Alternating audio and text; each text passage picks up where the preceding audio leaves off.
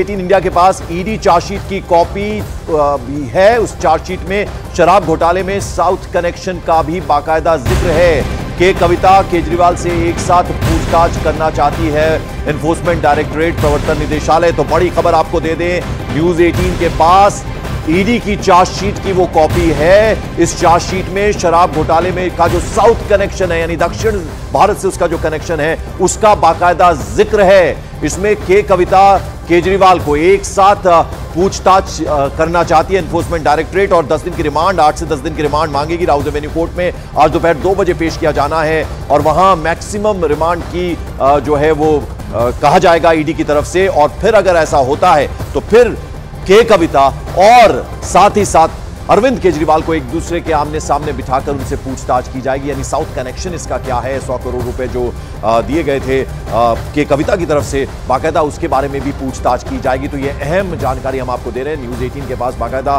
वो जो चार्जशीट की कॉपी है, उसमें किन किन बातों का ज़िक्र है?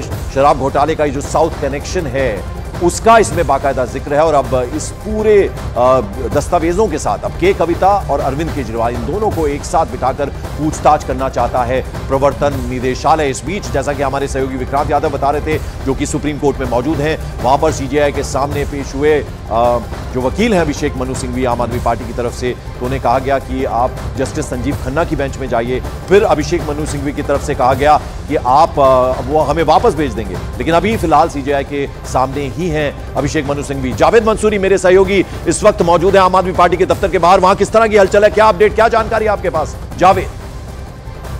देखिए, यहाँ पर लगातार पंकज प्रोटेस्ट चल रहा है। सीधे तस्वीरें हम आपको दिखाते हैं। इस सड़क पर बैठ गए हैं आम आदमी पार्टी के कार्यकर्ता।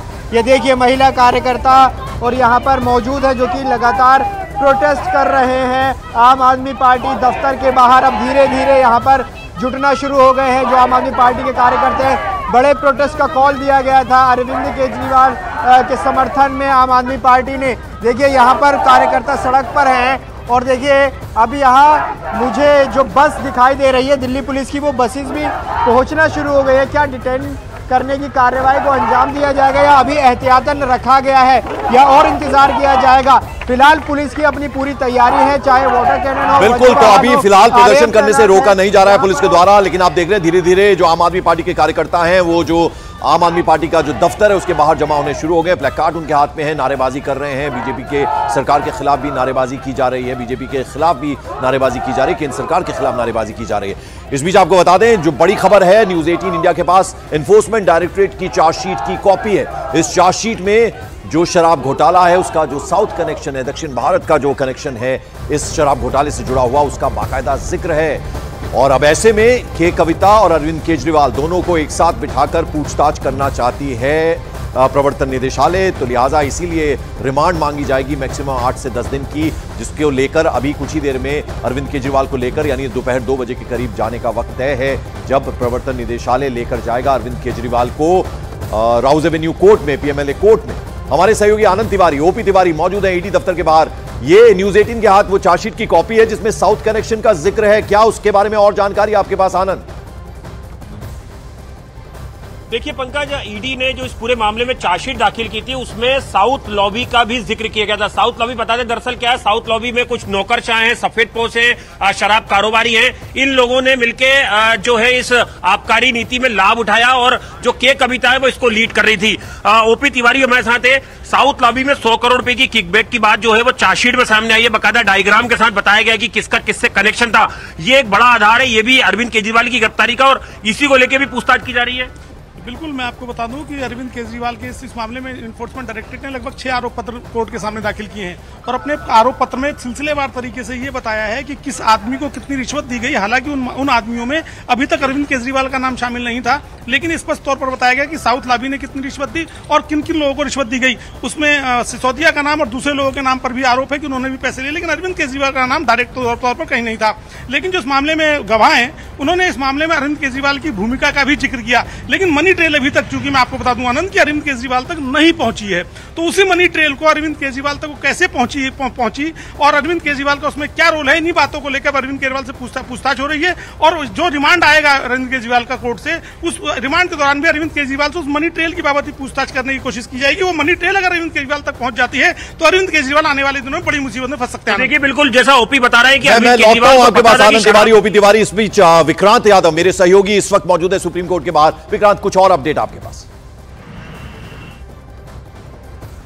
पास जानकारी आ रही है। इस मामले में अब justice Sanjiv Khanna, justice M M Sundresh और जस्टिस बेला त्रिवेदी, ये तीनों जजों की जो बेंच है, वो इस मामले को सुनेगी। चीफ जस्टिस ऑफ़ इंडिया ने उनकी बेंच में जाने को कहा है। अब अभिषेक मनु सिंह भी उनकी कोर्ट में जाएँगे, वहाँ पर मेंशन करेंगे इस मामले को। Justice Sanjiv Khanna, justice M M Sundresh और जस्टिस बेला त्रिवेदी, इन तीनों की कोर्ट में अब ये मैंशनिंग की जाएगी। हालाँकि एक और चीज़ मैं बताऊँ कि के कविता, उसके, उनके मामला भी यहाँ पर अभी आया था, जस्टिस संजीव खन्ना की कोर्ट में। तो उन्होंने कहा कि नियम सबके लिए एक होने चाहिए। उनको भी कोई रिलीफ अभी तक नहीं मिला है उनकी सुनवाई चल रही है। तो बहुत ही मुश्किल दिखाई दे रहा है कि कोई रिलीफ कोर्ट से विक्रांत यही बड़ा सवाल मैं आपसे जानना चाह रहा था। आप कोर्ट की बीट काफ़ी समय से कवर करते हैं तो ऐसे में जब निचली अदालतें अपना फैसला सुनाती है तो बहुत कम उम्मीद होती है कि सुप्रीम कोर्ट कोई अलग राय दे। देखिए पंकज इस मामले में क्योंकि निचली जो कोर्ट का अभी कोई फैसला आया नहीं है इसलिए रिट क्योंकि इस मामले में फ़ाइल की गई और ये रिट जो कल जो हाईकोर्ट में इंटरिम प्रोटेक्शन के लिए दाखिल की गई थी उसको चुनौती नहीं दी गई है एक नई रिट फ़ाइल की गई है जिसमें गिरफ्तारी को चैलेंज किया गया है। और गिरफ्तारी को जब आप चैलेंज करते हैं तो कॉन्स्टिट्यूशनल कोर्ट के पास आप चैलेंज करने का अधिकार होता है। आमतौर पर क्या होता है कि कई वकील सीधा सुप्रीम कोर्ट पहुँच जाते हैं बिल्कुल जबकि विक्रांत मैं लौटूँगा आपके पास इस बीच राजनीतिक बयानबाजी भी लगातार जारी है। मेरे सहयोगी यतेंद्र हमारे साथ जुड़े। यतेंद्र आपके साथ शाहनवाज हुसैन है। क्या कह रहे हैं वो? देखिए बिल्कुल पूर्व केंद्रीय मंत्री और बीजेपी के राष्ट्रीय प्रवक्ता शहनवाज हुसैन साहब हमारे साथ हैं। शहनवाज जी केजरीवाल की गिरफ्तारी हो गई लेकिन कह रहे हैं कि गैर कानूनी तरीके से की गई है और बीजेपी डर गई है चुनाव की वजह से। इस वजह से सारी एजेंसियों को लगाकर अनैतिक तरीके से गिरफ्तारी हो गई। देखिए ये तो वो कहेंगे ही। ये साफ़ है कि ये गिरफ्तारी संवैधानिक तरीके से हुई है। कानूनी तरीके से हुई है। एक संबंध नहीं, नौ नौ दस दस संबंध मिल गए, लेकिन वो बहानाबाजी कर रहे थे। वो अदालत में एक नहीं, दो बार चले गए, लेकिन फिर भी कोई रिलीफ उनको मिला नहीं था। जब इसमें शराब का स्कैम हुआ है तो इसमें पहले तो वो बड़ी बड़ी बातें करते थे तो ये बातें दूसरों के लिए था। आपको इंक्वायरी फेस करनी चाहिए, समन फेस करना चाहिए, नहीं किया जब पूरे साक्ष्य थे ईडी के पास तो उन्होंने गिरफ़्तार किया है।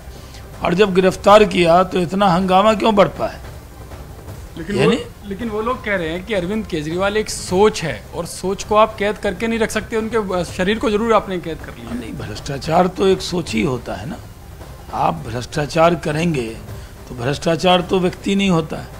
वो तो कई राज्य में कई नेता भ्रष्टाचार में शामिल हैं वो सोच ही माना जाता है। उन्होंने गलत तो नहीं कहा है। यानी इंडिया अगेंस्ट करप्शन का आंदोलन चलाकर आए, लोकपाल की बात करके आए, कितनी बातें कहते थे आज, उन्हीं के बयान सब लोग फिर से सुन रहे हैं। और खुद पर वो बयान लागू नहीं कर रहे हैं। तो अब उनको पद पे रहने का कोई अधिकार नहीं है। इंक्वायरी फेस करें। और उनसे सवाल जवाब हुआ है। बिना साक्ष्य के तो ईडी गिरफ़्तार नहीं करती। लेकिन राहुल गांधी कह रहे हैं कि आप लोगों ने लोकतंत्र की हत्या कर दी है। शर्मसार हो गया देश। लग रहा है राहुल गांधी के जबान पे एक बात चढ़ गया है जैसे टी शर्ट उनके साथ चिपक गया है, वैसे लोकतंत्र की हत्या और लोकतंत्र खतरे में है, ये भी चिपक गया है। उनके आप पिछले पचास बयान निकाल लें, हर किसी में वो लोकतंत्र है नहीं, लोकतंत्र मर गया, लोकतंत्र की हत्या हो गई, लगता है कि उनकी सुई वहीं अटक गई है।